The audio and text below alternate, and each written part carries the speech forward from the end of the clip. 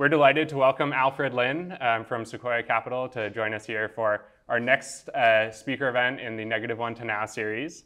Um, Alfred uh, began his career as an operator at companies like Link Exchange, Tellme, Zappos, um, where he was chairman and COO for several years through their acquisition by Amazon. He then joined Sequoia Capital as a partner, where he's been an early investor in companies like Airbnb, DoorDash, Instacart, Faire, and many more. Um, we're really delighted to learn about his experiences operating and investing in some of the world's best companies from the earliest days, and uh, even more excited to do it in front of a packed house because I think last time we had Alfred here, we were all at home doing it over Zoom. All on so, Zoom last time. Yeah, excited to have you here in person. Um, let's give a warm welcome to Alfred. Thank you for having me here. It's really fun. Yeah, we're delighted. Um, so we'll start kind of at the beginning of your career. Uh, SPC is all about the negative one to zero, so we're going to go all the way back to, um, to the start to begin. Um, you know, in the negative one to zero, we talk a lot about uh, a big part of the journey is getting comfortable taking risk and deciding when to kind of take the leap. Um, so the first question I want to ask you is, at the beginning of your career, when you're thinking about um, you know, joining your first startup, forgoing your PhD and, and, kind of going down this path of, of taking this risk. How did you get comfortable with that risk and um, what was your mindset like at that point in time? I think the thing that is hardest about taking risk is you, you're concerned what may happen in failure, and it turns out that it's not that bad. And the the thing about it is you can't you can't worry about failure. You're not going to succeed unless you think about success. And so one of the things that we do at Sequoia now is to write out our investment thesis before we make an investment, but we also write about the pre-parade and the pre-mortem.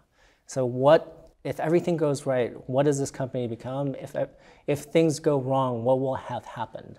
And then if you read those two sections, you, you realize, yeah, things can go wrong, but this beautiful thing called the pre-parade, what the company can look like when it is really successful is so powerful that you want to either join it, start it, or invest in it and partner with it for the long run. And so I didn't realize that uh, back then, but I had lots of friends who sort of encouraged me along the way. Mm-hmm. And you know, I was I would just say I was living my mom's life. She wanted me to get a PhD in statistics or in anything. Her, her I happened to be in a PhD program in statistics, because it's good at math, but she wanted me to be a PhD in anything so I could be a professor and contribute to the world's knowledge, and that's very noble for her. And when I was younger, I was always interested in business. And so at some point, I just got up and thought about it. And I had friends who were starting a company, and I just decided to join them. And Link Exchange was a non-obvious thing, um, but at least it was in technology. The first idea that Tony Hsieh and Sanjay Madan wanted to start was a Subways franchise on campus. I was like, come on, guys, this, can we find a more leveraged business? And technology is great because it's a very leveraged business. The cost of producing the software is limited, and the margins that you can make off of that business, if it scales properly, is high. And so we're, very, we're all very, very fortunate to work in technology if you just take a step back and, and think about it from that standpoint.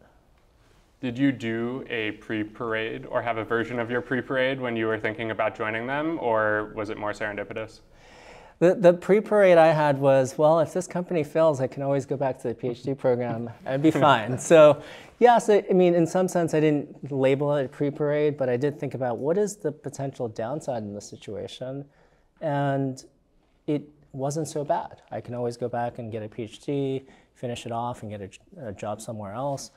Or, you know, and then the other flip side is what happens if this company actually worked?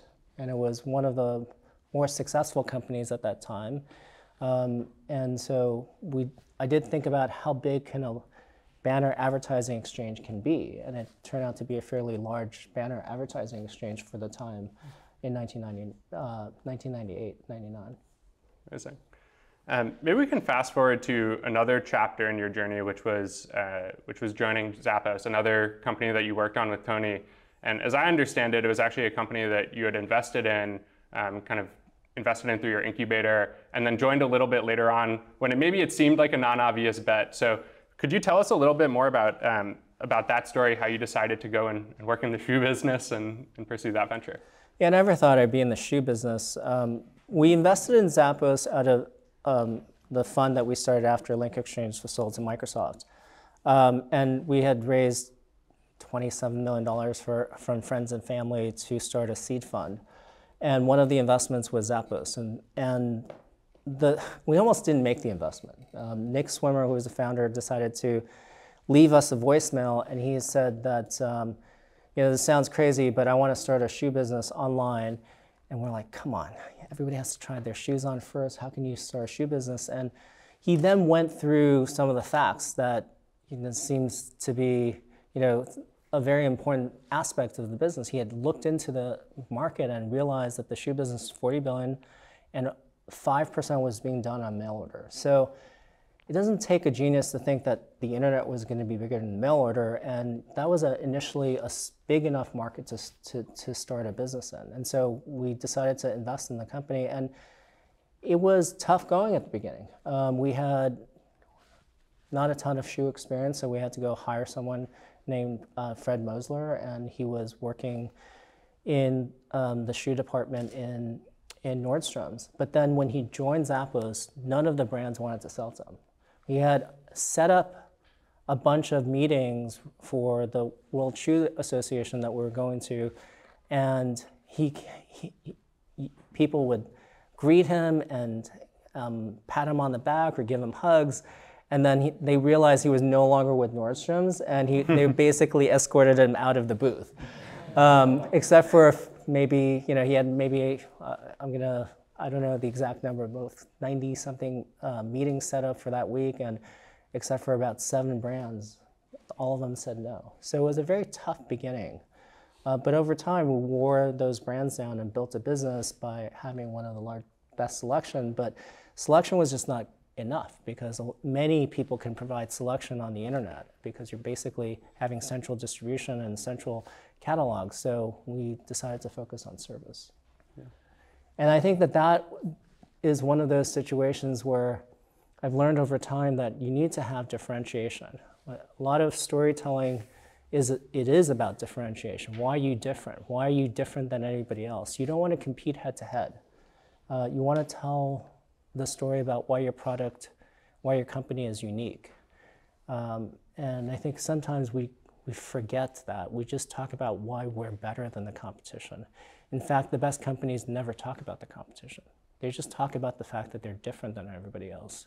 And they see the world has a certain problem, and the company is out there to solve that particular problem in a very unique way. At Zappos, you formed a really unique culture that you kind of talked alluded to uh, around service, um, and that felt like a big point of differentiation for you for a long time. Can you tell us more about kind of how you um, decided to focus on that um, and how that maybe played into your differentiation that, that you're talking about? In retail, there are many ways to differentiate. In, in traditional retail, it was being the biggest or being the nichiest and having a different selection or charging the most because you have a differentiated brand. A lot of nice brands that we all love, they probably charge you a very nice premium to what you're actually getting, but you, you're willing to pay for it because you believe in their story. Or you, um, or you, you're buying things for the cheapest. So you price compare because they're approximately the same it's a commodity.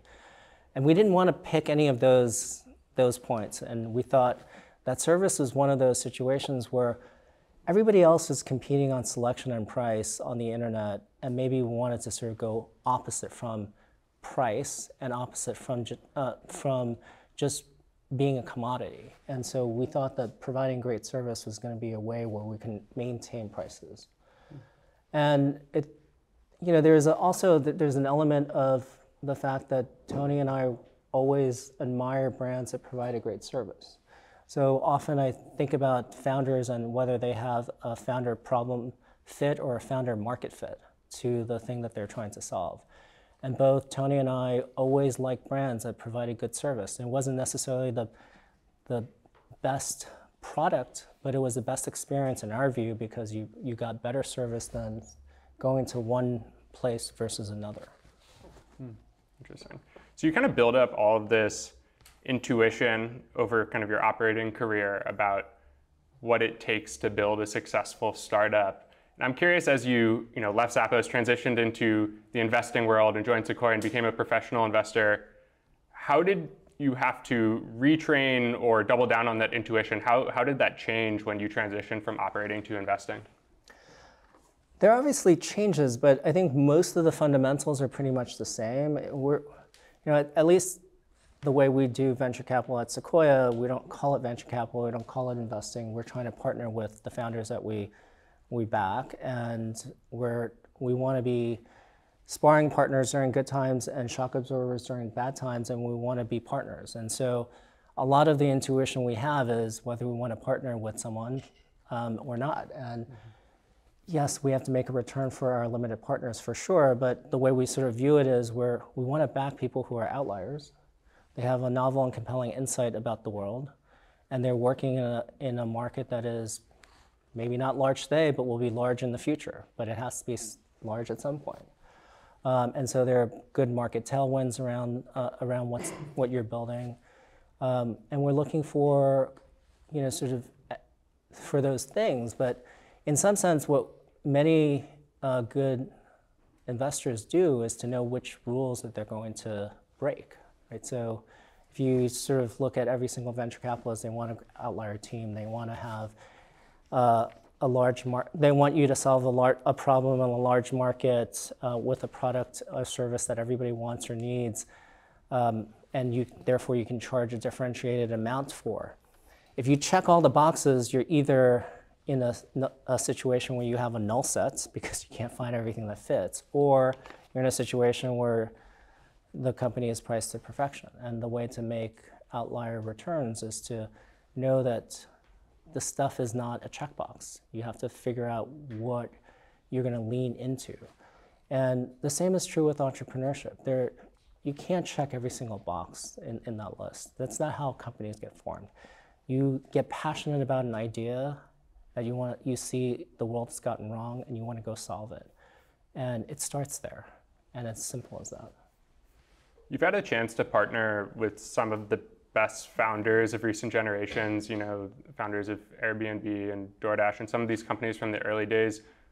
Maybe, you know, because it seems like these founders, they were outliers, they actually kind of maybe went against the common patterns. What, what did you see in maybe one or two of these companies? If you can tell us an example um, of kind of what got you excited, what inspired you to, to want to partner with them? There, I mean, founders are they're all unique and different in many ways. And so you're asking for the commonalities. And I think the uniqueness is what makes them special for the companies that they're going to start. So if you take a founder that's very successful, like Brian Chesky at Airbnb, and you put him into another company, yes, he probably would be successful operating a different company, but he may not be as successful running something that is that is very, very different from this experience that he wants to give the world. So, uh, and the same is true with Tony Xu at DoorDash. If you take him out of DoorDash and put him somewhere else, can he be successful? Sure, he was working at other companies and he was successful there, but I don't know if you get the same outlier um, elements. But the commonalities are founders are generally relentless. They have they just have a lot of positivity about the world. Their heads are in the cloud, but their feet are planted on the ground, meaning they can see things at a super high level and be super optimistic and see above the clouds and see the sun and out into the horizon, but they are they are grounded in reality. And I often we we talk about people who are able to hold two opposite ideas and make make sense of it. And that tension, we talk a lot about that at Sequoia. We, we want to be a firm where we hold a lot of opposites in tension. But founders, the best founders do that too. Got it. And I think most of the folks in the audience here, they're, you know, kind of in the negative one to zero phase through maybe kind of, you know, pre-seed or seed founder. Um, over the coming months and years, many of them are going to go out and raise their first rounds um, of financing and figure out who to partner with. Since you see so many companies um, and founders go through this journey, I was wondering if you could, you know, talk to any of the common mistakes or myths that you see founders um, making or following when they go out and, you know, raise their seed round. Um, what are the what are the common yeah mistakes or myths that um, that you would like to maybe dispel for for this audience here? I, I think the the one thing I would encourage everybody to do is that when you you get raising, it's a two-way street. It's you're not just pitching your company. You should interview the the potential investor that's going to invest in your company. Um, my brother works for a hedge fund, um, and so when he doesn't like the investment, he can trade out of it the next day. This is this is not the same thing in, in the private side. When we invest, we're in it, we're on your cap table for a long period of time. It's very hard for you to buy the investor out. The opposite is also true. You're kind of stuck with the investor that you let into your cap table. And so think, be thoughtful about who you let into your cap table. But it's also an opportunity for you to recruit a partner. And I think sometimes, especially at the seed round, many founders just look at it as capital. And that's perfectly fine if you don't need any help. But I'm pretty sure at the seed round, especially the seed round, you're, you want all the help you can get. And so find people who are going to be helpful for you. And realize that they're going if the journey, if you're successful, that journey with that, whoever you let to be an investor is going to be a decade long, if not longer, if it's successful. If it's not successful, it will still be many years. And uh, I don't think people think about that enough. Um, I want to be conscious of time here and make sure we get to plenty of questions from the audience. So I'll just have a, a few more here. Um, maybe shifting to kind of the, the present times. Um, there's a lot going on in the world. About a year ago, uh, you and the rest of your partners um, showed this presentation on adapting to endure, where you talked about um, the turbulent markets and times and how founders should uh, you know, adapt their thinking, shift their thinking to react to it. And I was wondering if you could maybe talk to um, your perspectives on kind of the macro in the world right now. Could you share maybe an abbreviated or updated uh, you know, uh, perspective on um, how founders should be thinking about the macro, given that you know, on one hand, there's a lot of uncertainty in the world, and the other hand, there you know, feels like there are bubbles or excitement around things like AI that um, are pushing the world forward. What, what is your latest thinking there? Well, we're not macro investors. When we see certain trends, we, we will talk about it or write about it. Um, many of the things that we write about were not macro trends. They were just, you know, things that we think people should be aware of. So there was the Black Swan memo that came out. Then there was, um, you know, accelerating out of the turn coming out of um, COVID, and then adapting to endure had a lot to do with the fact that many of the companies that we saw were had raised way too much money. They had their valuation had gotten ahead of them, but their business was not at the same stage as it should have been. And we're we're heading into a, a time where um, some of the some of this was going to get rationalized. I think today, if you you know looking at today, there are a lot of opportunities with this new wave of AI. There's also, we haven't seen interest rates as high as this level for a while. It's not the highest level of interest rates, by the way, so I don't think people should be concerned about that. But so we see the current environment as there, there's this tug of war between all these opportunities are, um, that are happening, but also um, just the higher cost environment to create a company. So higher interest rates just means the cost of capital is going to be higher. So that's going to affect your valuation. The cost of inflation being up and salaries being higher is just going to cost more for your company. And at the same time, there's all this power with AI to do things in much more efficient ways than, than has been in the past. And so, in some sense, there's this tug of war happening. And you, I think it's incumbent on founders to sort of understand that. And any place you can find efficiency, you should you should use it, um, which was not necessarily the way that we thought about the world in the past. When money was um, cheap and interest rates were low, it was grow, grow at all costs. And now it's much more of a balance. You have to grow, but you have to grow in a much more constrained environment. And we haven't had to do that for probably 10, 15 years. I'll ask the, the question that I think was maybe our most commonly requested uh, because it's top of mind for everyone, and you alluded to it there, which is um, kind of the, the AI craze that is going on um, right now. Uh, tell us a little bit about your, your thoughts on that. What specific kind of AI trends or applications do you find most promising for startups um, and early stage companies right now? Uh, and then maybe on the flip side, what are, what are things that you are skeptical of?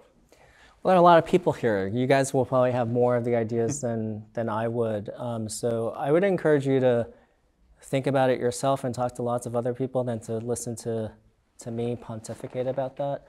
Um, it, the, there's lots of things happening that are moving very, very fast. But I, I think also language is important.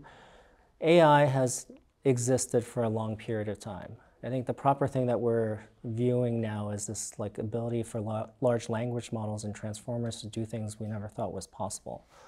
And you know, a few years ago, we could have thought that computer vision was the edge of AI. Right now, we think large language models is on the edge of AI. We may not think that in three to five years from today. Maybe it will be longer. I don't know. Um, I wouldn't. I wouldn't pretend to know that.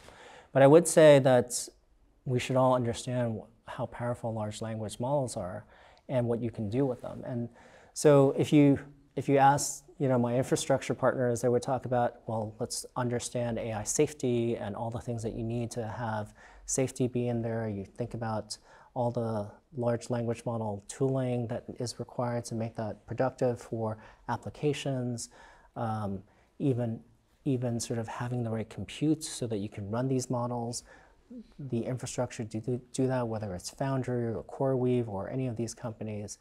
Um, and then there's an element of, um, of like bring that stuff to life. And so the bring that stuff to life has to do with what applications um, can be made. And now, I think that's quite interesting. One of the things that I've learned over time is that someone else, someone's feature is someone else's bug, and vice versa. So you've heard the term that hallucinations is potentially a feature and not a bug. Well, that's maybe true in consumer because, well, if you ask an LLM to create an image for you and it doesn't quite work, it's like, oh, that's kind of interesting because that hallucination is a feature. Well, I don't know if that's true in certain other applications. And so we need to fix that too. So if you are doing surgery, I don't think a hallucination and drawing, drawing a, you know, scalpel across your, your body at a tangent was, was what was intended. That hallucination is not going to be very helpful. So in that case, the hallucination is an error and it can become a liability. And so there's going to be a lot of this work that's going to get rationalized for when do we want hallucinations and when we, when we do not want those hallucinations before we can bring real applications to life. Um, and that could be tuning and, and the sort of the developer stack that gets created. And on top of that, the first initial applications with cre creativity, whether it's Midjourney or Runway ML, all of these things, or Pika, all of these things are just touching the surface of what's potentially possible. So creativity, I think, will be vastly improved with, with AI. Um, and that will lead to consumer social applications such as Can of Soup. But also, the most powerful things are going to be things that sort of make our lives a lot easier, whether it's applications and customer support or law or anything where it reduces the burden of the, the places where humans are spending a lot of time doing grunt work should get uh, compressed so that we can do other things that require the things that humans are best at. Hopefully, the, the next application will come from someone in this room. Yeah. Um, but I'm sure you guys have way better ideas than, than I do, so I would encourage you to continue to think about it. The other thing I would encourage you to do is don't pursue someone else's idea and passion. Make sure you really want to work on that idea for the next 10 years. Um, maybe with that, uh, why don't we open it up to the audience for some questions?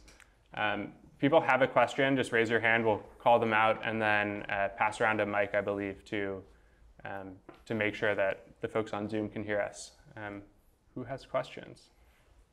Uh, why don't we start with Tomas over here? You get him the mic. Uh, hey, Alfred. Hi, Tomas.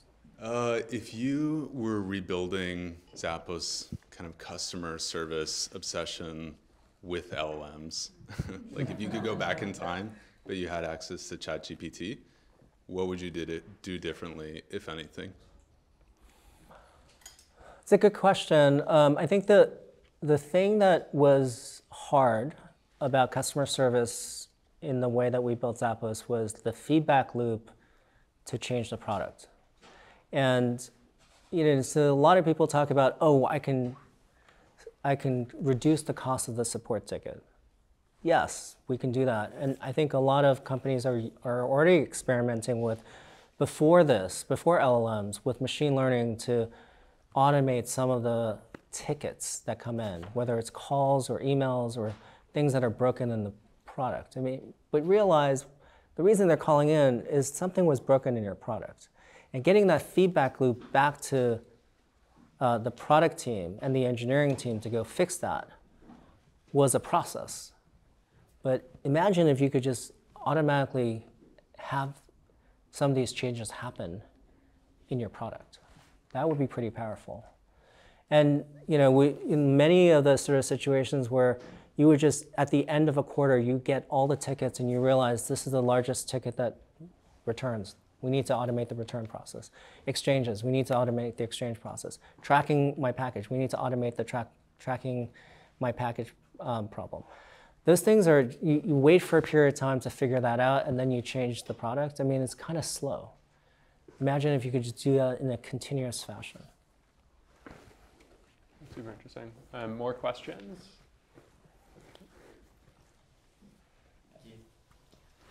Uh, how do you think about AI and, and, defensibility in AI given the speed of everything changing?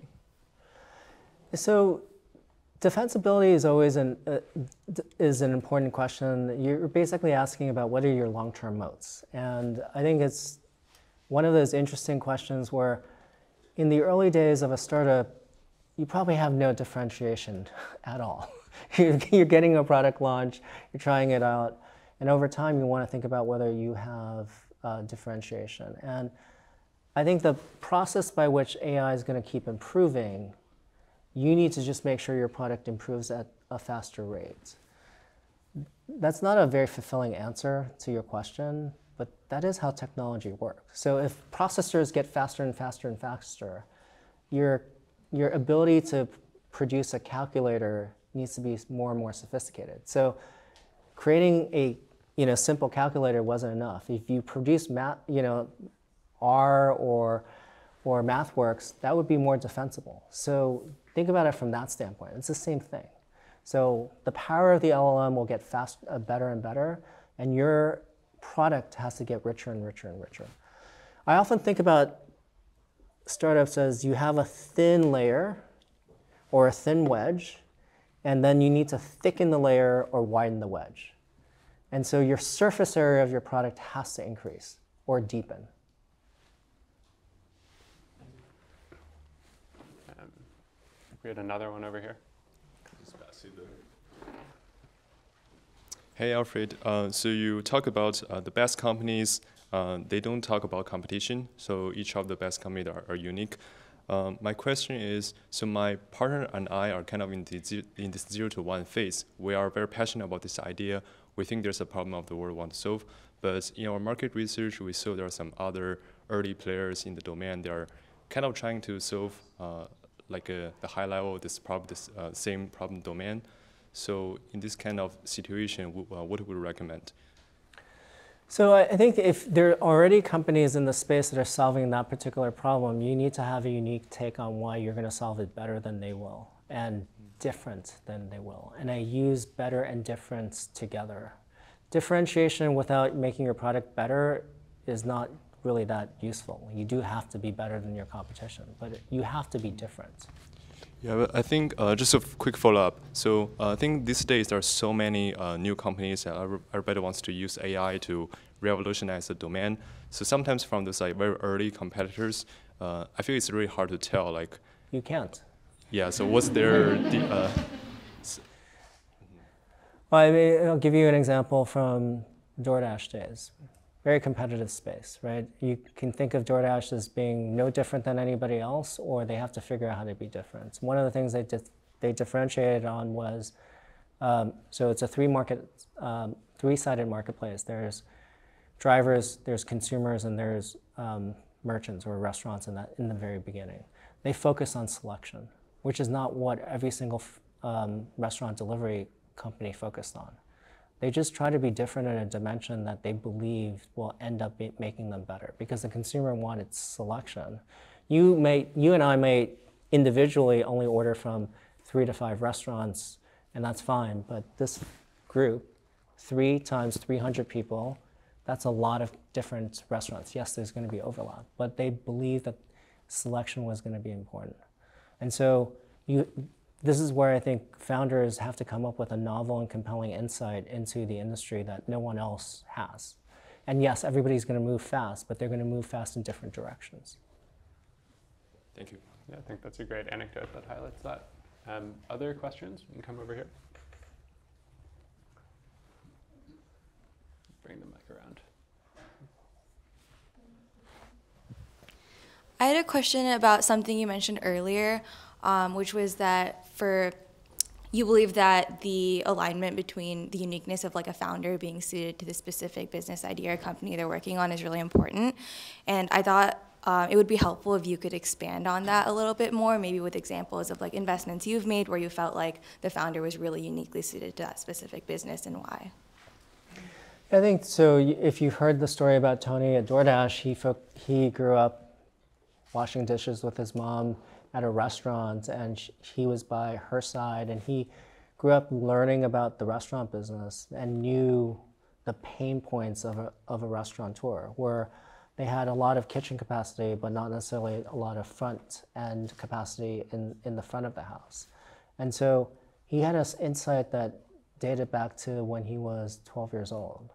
That, so that's an example. Um, Keller, who um, is the founder of Zipline, he'd been building robots when he was a young child, and he had always believed that robots could do things in very automated fashions that um, humans would prefer not to do.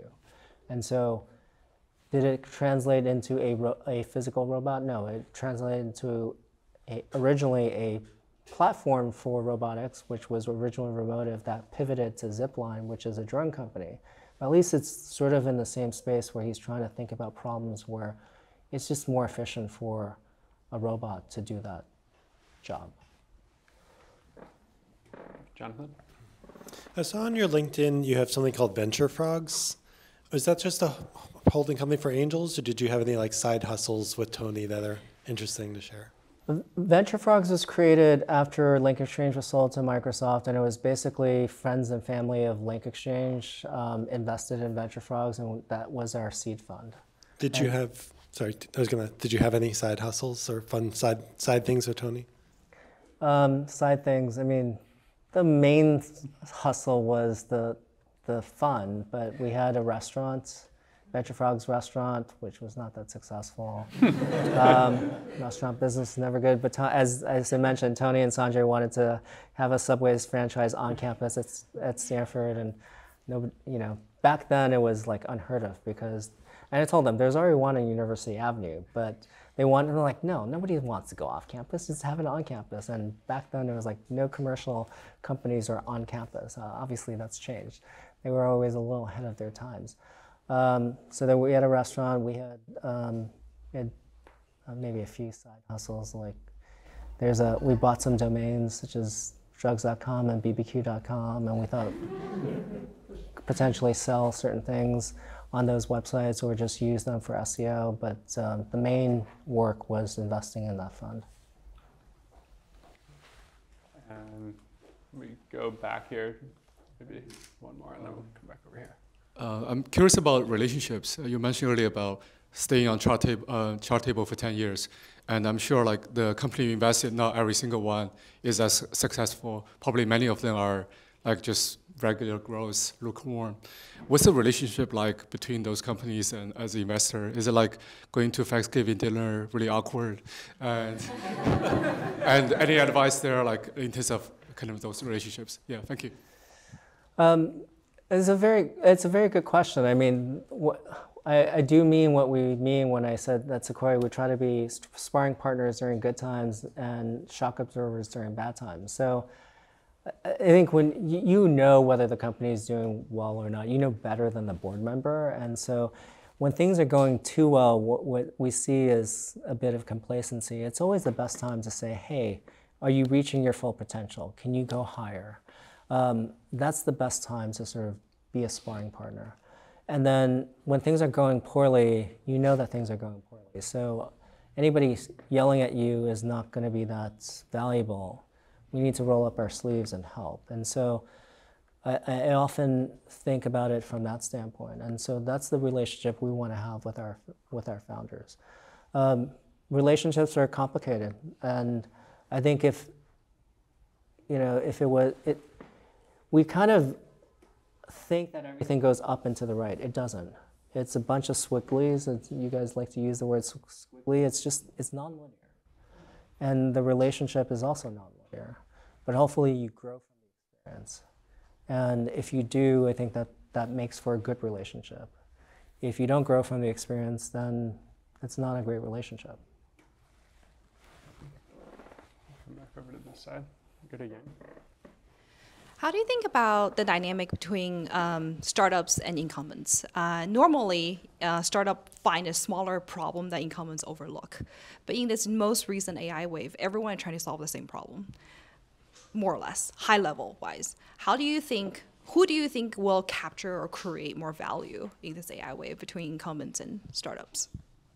Well, I think the the who captures more is not the relevant question because both will capture a lot. So I, I, let's just understand that from all the way back to like when I started looking at technology, the, the, because I helped, when I was young and in junior high school, I started building computers and robots.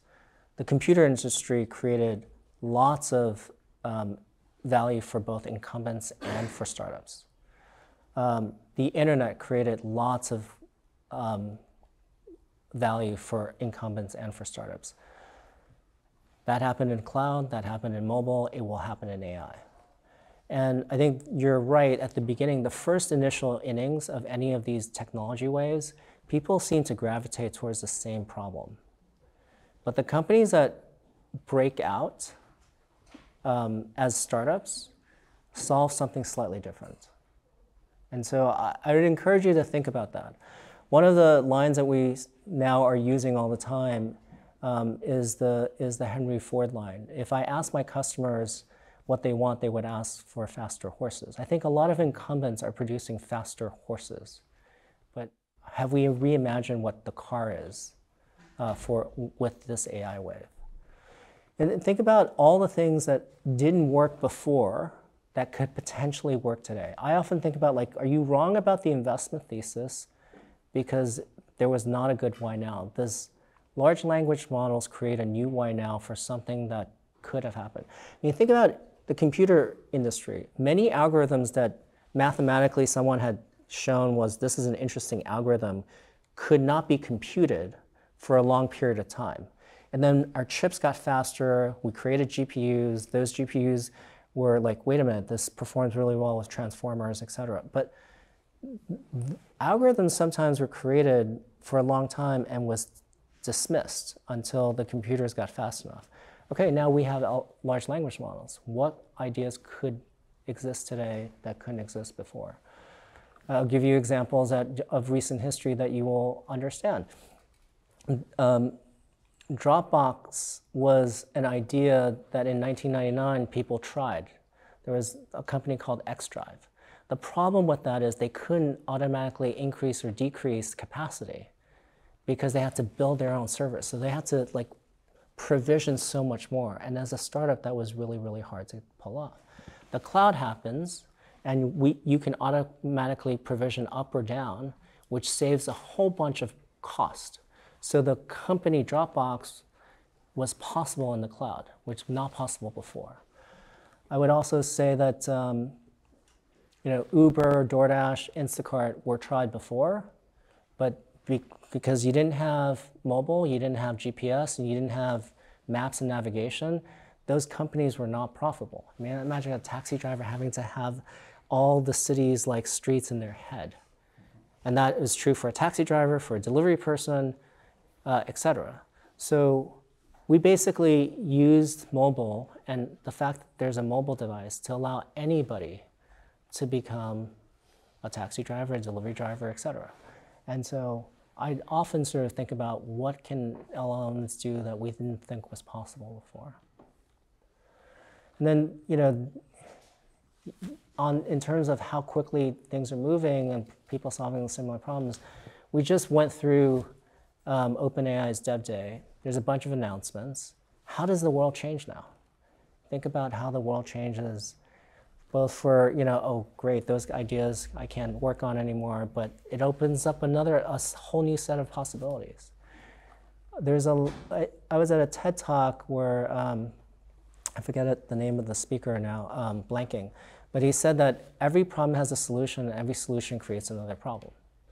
And so well, this is the sort of fun part about working in technology because it moves so fast even if a problem gets solved, there's new opportunities.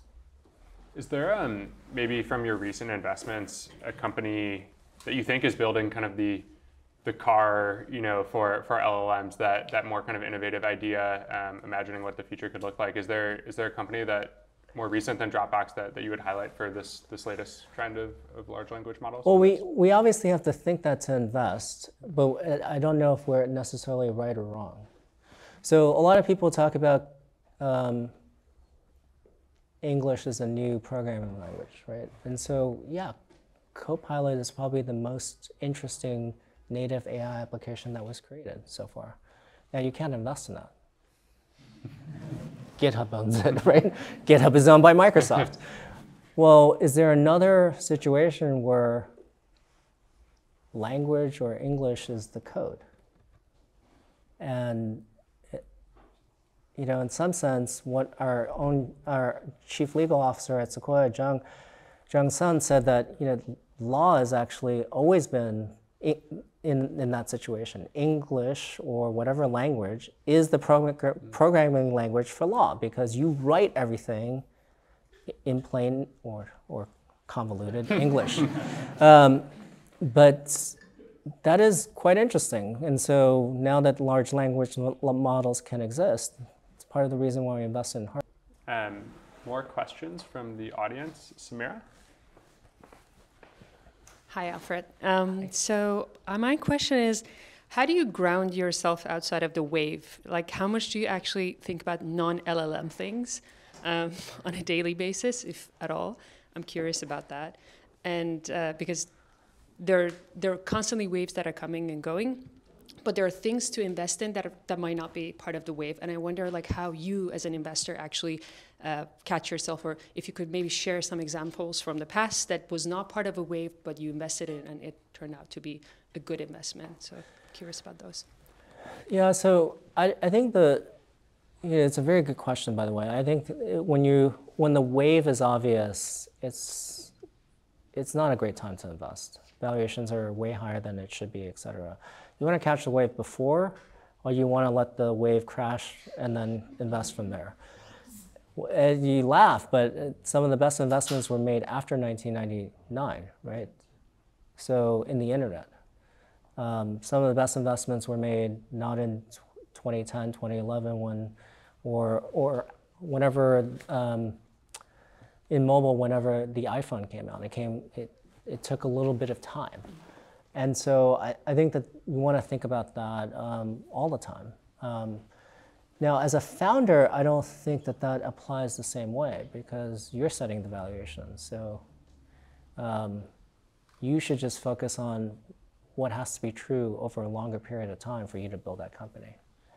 So I, I think there are a lot of quotes that Bezos is attributed to, and one of the quotes I love the most is the fact that the one that he talks about yes, there's always a new shiny penny, but sometimes you should focus on things that will be stable over time because the things that, you can, that are stable over time, you can build a business around.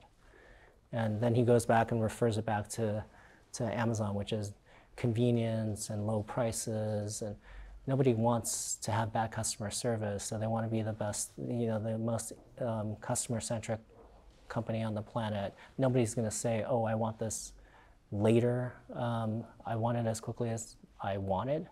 Uh, nobody's going to say, "I want the th- the same thing but for a higher price." So low price does matter, and so I think you should think about your the, the trends that are going to carry you for a period of time, but what is going to be stable over a long period of time for you to build your company. And for me, you know, grounding myself, I, I there are, you know, I try not to be on my device um, all the time. It's still right here. Um, I try to make sure I clear my head and I try to read things that are outside of technology. Maybe we can go to Chris. Thanks. Kind of follow up question. Um, I've been super into mixed reality for like 10 years, and it's always just around the corner. Um, I guess I'm wondering, you know, I've spoken to other founders maybe that are like really into Bitcoin and been doing that for a really long time, and, and it almost feels in some way that, you know, the time for those things has come and gone, and now it's all about AI. So, do you have any advice for founders who are true believers? Yes, I I think the, you know, th there could be, you can ask the question in a slightly different way, which is there's always going to be some mixed reality elements that could be made today, even though it seems it has come and gone. Um, so what, what is it today that would be a very valuable mixed reality product that can be made? And you know, if you're going to build this business over 10, 20, 30 years, it won't come and go because there will be more and more improvements in, in hardware. I think the limitation of mixed reality is hardware. And nobody wants to be tethered or have something that's you know, five to 10 pounds on their head. So those things have to come down in both weight and capacity for compute and capacity for uh, carrying a charge or just use less, less charge. And so those things are going to get worked on. It just may take some time. Fortunately, Chris was working on that before SPC. so, I mean, I think if you solve those problems, those, those become much more valuable. And I do think there are certain things that have to happen, right? Like the hardware has to happen before a plethora of applications. AI, the foundation models have to get worked on first before dev tools can be interesting, before applications can be interesting. So there's a there's an order that these things get built. Um, but if you want, you know, the world that you want to create is up to you. And so you can accelerate one of those levels of, um, and I think in this case, if you're very good at accelerating the hardware, it will make for, it will make mixed reality a reality. I think we maybe have time for one more question, folks. Hi, my name is Louise.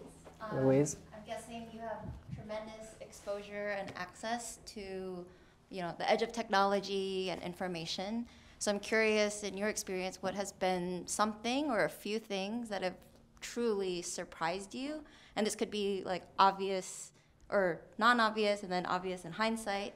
Um, and then just to give you some time to think, I'm in the genome editing space, and so the idea CRISPR. that Cas9, this enzyme from bacteria, could be coupled with like a small piece of RNA, could directly edit DNA, was both like incredibly powerful and also like beautifully elegant in nature. So curious like what, you know, you've seen in your career that's been like truly surprising. I'm going to date myself, but I thought, you know, I thought the ability to send email to anybody in the world when I was in college was truly surprising.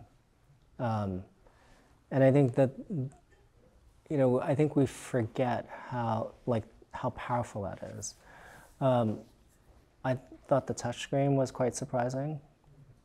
That, keep in mind, back to your, your sort of assessment about mixed reality, the touchscreen, if you go back in Wikipedia, people tried the touchscreen in 1972. And it had to be an innovation in glass, not surface or anything like that, that sort of made it possible. Um, and Corning was the one that sort of did much of the work to make it manufacturable. Um, and so one of the things that's surprising to me is the interplay between all the different fields. And I think sometimes we're myopic on just computer science in, in this part of the world, but many of the innovations are a combination of different fields. Um, and so your example is a great example of, of CRISPR, and I think there are many examples where you come up with it's the GPS chip in the phone with navigation that makes a bunch of things possible. So I, my fascination has always been, um, I, live, I grew up in New York City and there are a bunch of services that were, cap- were possible in New York and they were not possible anywhere else until everybody had a smartphone. Um, so I thought that that was quite interesting. And uh, the way my son learns math today is very different than the way I learned math. The way you can visualize things, and I was like, oh, I wish I'd learned it that way because it just was so much more enlightening to see it and see things in rotation and the graphics that we are capable of producing today. Um, I think the sad part is that we're not reinventing education fast enough, given what is possible today. You know, and there was an article that I read about why we're not producing enough, uh, we're not producing Einsteins anymore. And basically, the, the gist of the article was for a long period of time, people had more personalized education. They had their own, not personal tutor, but teachers would just spend more time and tutoring the child and giving them custom work. And we don't do that anymore. But I think AI has the capacity to do that for the world, which would be great. It's an amazing question um, to end on. And I, I guess uh, maybe just one last one. What is the uh, best way that SPC members can stay in touch with you and, and support you? Um, stay in touch. My email is lin, L-I-N, at sequoiacap.com. Feel free to just email me. Um, support me whenever you want to come talk to us. We we're open for business, and uh, we have a we have a seed fund, a, a, venture fund, a growth fund. We we invest from idea to IPO and beyond. Um, and I wish you all the best of luck in the companies that you create. Amazing. Thank you for joining us.